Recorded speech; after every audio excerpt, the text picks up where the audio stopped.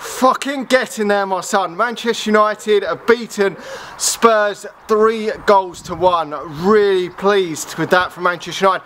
It has basically cemented Manchester United in second position in my opinion of the table with Leicester City losing uh, in the in the game earlier in the day against West Ham. That has almost sealed second position for me. I'm really pleased. Got a goal down in the first half. We put a strong lineup out. Manchester United was happy with that lineup. Pretty pretty confident with the lineup going into this game. Uh, Dean Henderson back in goal, Back four pretty much picks itself, the normal back four. McTominay and Fred in there, which I'm not the biggest fan of Fred as people know. I think he's quite basic, but has done himself the world of good today with getting himself a goal.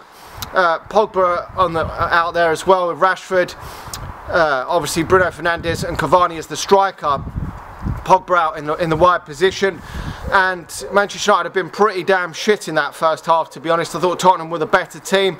And look they didn't really create enough chances Tottenham in that first half. Dean Henderson didn't really have enough to do and neither neither did Hugo Lloris in Tottenham's nets. But the, the, the biggest talking point come after what was it 30 something minutes in the game where Manchester United did actually put the fucking ball in the net. A really good move from Pogba and, and Cavani and Cavani finished it well. I thought he was fa fucking fantastic today but there was the slightest of touches on Son and he's fucking holding his face like a fucking little bitch. He was and VAR have, have, told the ref to go and have a look at it.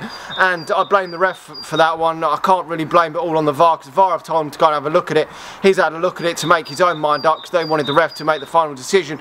And the refs had a fucking howler there because how this game's gone mad if that is a fucking foul really. I mean I mean that is if you can't, I mean, there's nothing in that to, to be honest. Barely a touch on it, and he's fucking like he's been fucking punched in the face, the little bitch Son, and it's just fucking shit. And then he's gone up, the cunt's gone up the other end and fucking put the ball in the net pretty much soon after, tapped the ball in the fucking net, and we're going 1 0 down. And to be honest, I thought, well, we played like shit. We deserve to be losing this game. We don't deserve to be winning this game. We probably deserve to be losing the game on the basis of the play. But obviously, the, the, the talking point is obviously going to be that disallowed goal, which was, which was annoying. But it seemed to deflect the fact that Manchester United had been so poor, which is what I didn't want. I didn't want it to deflect that. Manchester United didn't deserve to be leading that first half. Yes, we, we got the goal wrongly ruled out, but we didn't deserve to, to, to take the lead in this game, in my opinion. But second half, we've come out on the front foot and looked looked a lot better. There was no changes from Manchester United at half time. I thought,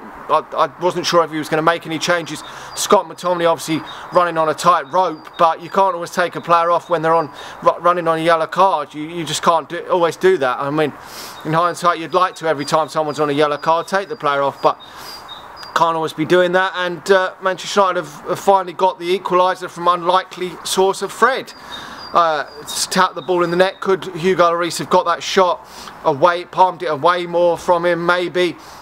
I'm not too sure, but he's fin finished the shot off. Fred fucking rarely does he. I'm, I'm not. Even, has he ever scored a Premier League goal? I fucking can't even remember. To be honest, I know he's got some in the in the Europa League and uh, some, but I, am not sure he has. His shooting is fucking abysmal, but luckily he put that away. It would probably have been harder to have missed it anyway, but he's put that one away and Tottenham have had a, a, a, bit of chance to, I mean, Harry Kane's had a chance to score at the near post, try to, try to, uh, tried at the near post to outfox the goal, uh, Henderson, but it wasn't to be for Tottenham and Manchester United have, have taken taken the lead through the, the best player on the pitch today, Edison Cavani, absolutely brilliant. What a cross from Mason Greenwood who come on in that second half for Rashford. Rashford can't last a full game at the moment, but hopefully now we've got this game out of the way, he could have a fucking break against Granada. Please do not play Marcus Rashford against Granada. They've got to win fucking three goals to one to get through that game and from Manchester United are going to go through that tie. I'm 100% confident. So do not play Marcus Rashford. Don't even put him on the substitutes bench. Put Langer on the substitutes bench. Put someone else on the put Charlie McNeill, someone else on the fucking substitutes bench. Not Marcus Rashford. He doesn't need to play in that game. And Greenwood's come on and the substitution worked a treat and Ole Gunnar Solskjaer never gets the credit he deserves. When a substitution goes Manchester United's way he's brought him on the right hand side. He's put a great ball in and Edison Cavani has, has finished it like we know Edison Cavani can do. And if he could stay fit what a poacher what a goal scorer he's been and he delivered fantastically well today with that great ball. And obviously Greenwood was fantastic but obviously Cavani man of the match for me today and Greenwood's got himself a goal as well. I think Hugo Lloris would be disappointed with that. The shot was probably hit well from Mason Greenwood, but keeper got a hand to it. I think he should really be probably saving that, to be honest.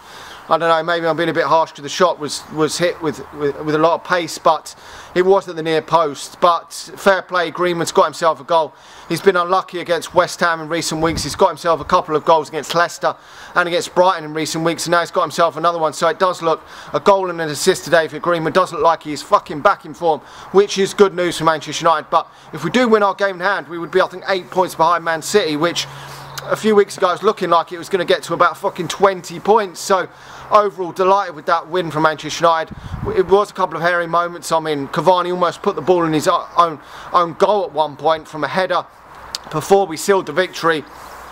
But it, it was actually a good a good save from Cavani to head it onto the post because it was going in the net. So they could have drawn 2-2 in that in the end. But overall, delighted with the win. We've got one over on Mourinho this time around. That's two two victories he's got over Jose Mourinho to Jose Mourinho's one, and there's been a draw in there as well. So overall, delighted with that. Manchester United got the job done. We've sealed, I think, second position in the league now, so we can fucking concentrate on trying to win that Europa League and finish closer to Man City. If we finish seven, six, seven points behind Man City and win the Europa Europa League. I think that that is, is a successful season for Manchester United. It's a lot better than most people thought. No one thought we were going to get close to winning the title this season. Some people didn't even think we were going to finish in a Champions League spot, and I wasn't sure the way we started the season that we were going to do anything at all. But if we can do them two things, I'll be fucking delighted this season. Let me know your thoughts in the comment section below. There should be changes for that game against Granada. I hope so anyway. Rest some players have a little bit of rotation and go again for the next Premier League game. Like the video, subscribe to the channel if you know me. If you're watching this on Facebook, hit the share button for that win. It really does help us out and I'll talk to you all again soon. See ya.